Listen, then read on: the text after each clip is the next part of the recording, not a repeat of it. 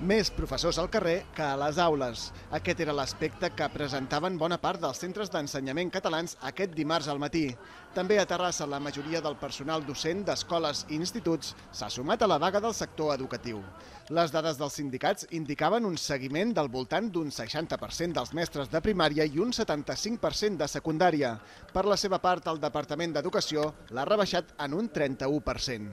En el cas de l'Institut Mont Perdut, dels 70 professors del centre, un total de 50 han secundat la protesta. S'han reunit a primera hora a les portes del centre on han llegit un manifest conjunt.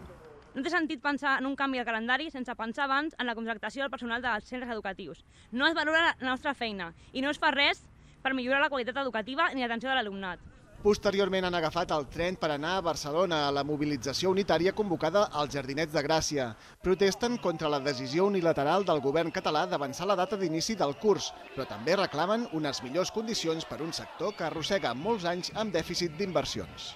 Són moltes coses, és currículum, són ràtios, són recursos, són manca de professorat, moltes hores, més hores que abans, ens, o sigui, volem aconseguir un, unes condicions dignes. Eh, la llei catalana diu que s'ha d'invertir un 6%, inverteixen un 3,6%, la més baixa de tota Espanya. Les retallades que es van fer aquí fa a l'època de la crisi van ser brutals a Catalunya i encara no s'han revertit, quan a la resta de l'Estat ja s'han revertit. Molts alumnes, sobretot de secundària, han decidit quedar-se a casa davant la més que probable suspensió de les seves classes.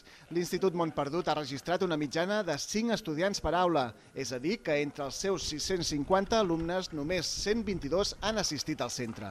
Una tendència, però, desigual, ja que també hi ha hagut d'altres centres que s'han vist desbordats per l'assistència d'alumnes i la manca de personal docent. Aquest és el primer dels 5 dies de vaga anunciats pels sindicats fins a finals de març.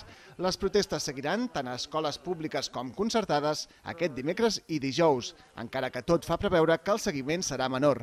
En l'aspecte econòmic, cal tenir en compte que els professors que se sumen a la vaga perden prop de 120 euros del seu sou per cada jornada de protesta.